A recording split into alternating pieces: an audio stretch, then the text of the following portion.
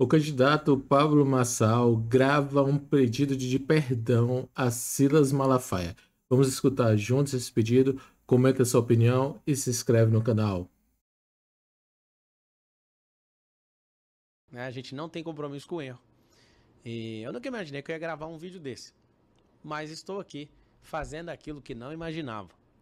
Eu errei com uma pessoa, na verdade eu errei com três pessoas. E essas três pessoas eu vou usar esse vídeo para corrigir um ato meu. Eu vou, vou ficar justificando, nem classificar o ato que foi resposta a isso, aquilo, nada disso. Eu vim aqui porque eu aprendi uma frase com o Juscelino Kubitschek que diz o seguinte: inclusive foi o melhor presidente do Brasil. Volto atrás, sim, não tem compromisso com erro. Então, esse vídeo é para voltar atrás é, em defesas que eu fiz ao meu respeito. Não sei se você sabe, mas eu sou bacharel em direito e até hoje, nos meus 35 anos de idade, eu nunca processei uma pessoa. Isso significa que eu não me preocupo com questões de buscar meu direito, minha defesa em alguma coisa. Só que eu acabei fazendo isso e eu tô aqui arrependido, de verdade, por ter tocado o nome dessas pessoas. Esse pequeno vídeo, ele representa um, um sinal de arrependimento. E eu não quero provar para ninguém que eu arrependi, mas eu quero formalizar isso. Eu não sou inimigo, eu não tenho inimigos. Eu entrei para política agora, esse ano. E eu percebi que a gente, para prosperar, não pode mexer com isso. Então eu não quero ser antagônico, não quero ficar contra. Apesar que parece divertido para algumas pessoas que me procuraram, né, e quiseram colocar lenha na fogueira. Quando eu percebi que eu estava brigando em família com alguém, eu decidi voltar atrás. Então eu quero pedir perdão número um para o Silas Malafaia. No final do vídeo, eu vou mostrar essa Bíblia que ele me deu quando eu tive pessoalmente com ele. E eu quero te falar, Silas, tudo que eu falei no áudio do WhatsApp para você continua o mesmo respeito. Eu de verdade me senti amado, né, por você ter dado tanta atenção a mim, né, em três cultos aí na sua igreja. Eu vou mostrar para todo mundo o que você escreveu aqui e o que você escreveu aqui para mim vale muito. Eu não sei se você lembra, mas é uma escrita sua e eu quero falar, né, pro Nando Moura. Né, eu acabei gravando um vídeo também igual esse do Silas e no vídeo eu rebati ele com coisas que é, aparentemente afetou ele, né? Seus seguidores são seguidores em comum meu falaram, né? Quando eu te falei que você não tem uma família, eu errei. É, parece que a sua esposa não pode ter filho e eu fiquei realmente constrangido com isso. E eu desejo de todo meu coração que vocês tenham filhos, tá? Em relação ao Silas, eu acho que o que mais arrependi de ter falado foi em relação à sua esposa, então eu retiro tudo que eu falei. E te peço perdão, Silas, te peço perdão, Nando Moura. Óbvio que eu não rebati, mas tem a terceira pessoa, que é o atual presidente. É, me perdoe ter falado qualquer coisa. Você é o governador, você é o atual rei, né? Na democracia a gente chama de presidente. Então, me perdoe se eu falei alguma coisa. Eu volto atrás nisso e que você possa continuar prosperando até o final do seu mandato, tá? Em relação a, ao Silas, eu fiquei muito tocado com um pedaço de um áudio né, que você colocou, me mandaram. E eu quero que toque esse áudio. E justamente nesse áudio você reconhece algo e foi um dos únicos áudios que eu não dei play. Quando alguém mandou para mim o recorte, eu não acreditei que você falou isso. Talvez, se eu tivesse ouvido no meio dessa confusão inteira, eu jamais teria feito o vídeo de resposta. Então toca esse vídeo para mostrar para todo mundo. Você tá igual a Uzias. Leia lá segundo Crônicas 26.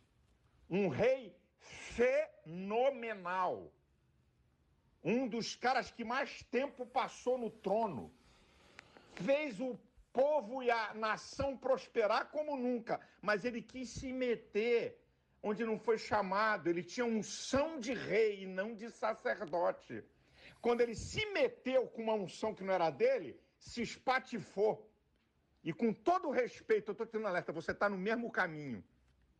Deus te deu uma unção de rei, mas você quer se meter a unção de sacerdote, você vai se quebrar. Grave o vídeo aí, grava esse áudio. Eu não falei ainda isso para ninguém. Eu não gravei vídeo sobre isso. Eu tô falando direto com você. Guarde isso aí o que eu tô te falando. Você tá igual a Uzias. Leia lá 2 Crônicas 26. Leia lá em 2 Crônica 26. Eu realmente entendi. Eu não tinha ouvido você falar isso. Isso mexeu comigo porque eu não tinha apertado o play, né? Que você acabou me, me me bloqueando no WhatsApp, então eu nem, nem ouvi a última, a penúltima conversa. E até te peço, né, como pedido de, de aceite desse perdão para você é, desbloquear o WhatsApp. Você não vai ter mais problema comigo, você não vai ver sair da minha boca nenhum ataque, nada da minha, da minha vida vai. E vai terminar com uma palavra sua essa discussão inteira. Então a discussão começou em você e vai terminar em você. Da minha parte, você se considera livre. Não tenho nada contra você. Não me levanto contra você. E assim como você mandou em áudio, né, para mim, é, que o Senhor seja o julgador entre nós. E eu não quero né, nem colocar você nas mãos dele. Eu acho que você já está e você é livre para continuar prosperando. Mas eu quero que esse áudio repita pelo menos duas ou três vezes. Deus te deu uma unção de rei. Deus te deu uma unção de rei. Deus te deu uma unção de rei. E aí você me dá um alerta. Você quer se meter unção de sacerdote, você vai se quebrar. Aí, grava esse áudio. Então eu vou pegar seu conselho eu não vou me meter em unção de sacerdote. Você tem essa unção, né? você na comunidade cristã, principalmente evangélica, você é o que mais tem coragem de falar. Continue com essa, com essa, essa força que você tem, que eu respeito muito, essa ousadia, essa coragem. Tem coragem de peitar ministro do Supremo Tribunal Federal. Continue com essa, com essa força. O Brasil precisa disso. É porque se fosse alguém que não tivesse coragem, né, não teria coragem de falar o que pensa e você defende uma grande classe no país. Então, quero te pedir algo. Me perdoe. Me perdoe por tudo que é mais sagrado. Eu falei coisas que eu não precisava falar e usei um direito que eu abro mão sempre de me defender, porque a verdade ela não precisa de defesa. E eu só resolvi é, voltar atrás nisso, porque as minhas mãos sempre estão carregadas de frutos daquilo que eu faço. Já não importo com a reputação faz tempo, senão nem estaria aqui nem fazendo isso.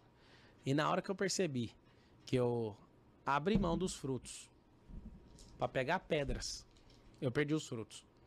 Então eu vivo debaixo do favor de Deus há mais de uma década e eu não quero viver do meu esforço nunca mais. Então eu volto atrás. Desculpa, me perdoe por ter tocado aí naquilo que te importou bastante. Eu volto atrás. E assim como começou lá na sua igreja. Como começou você em fevereiro falando de mim. Eu fui atrás de você sem respeito, me ouviu, não falou nada.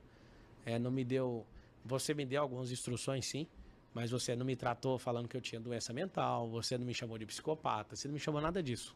Você falou que me respeitava e que eu tinha que tomar uma direção diferente. E eu vou assumir isso agora. Então, pessoal, o Paulo tá de parabéns por pedir desculpas ao pastor Silas. Que os dois possam se acertar. Eu peço encarecidamente o like de vocês, porque isso ajuda muito o canal. Um abraço e até o próximo vídeo. Tchau, tchau.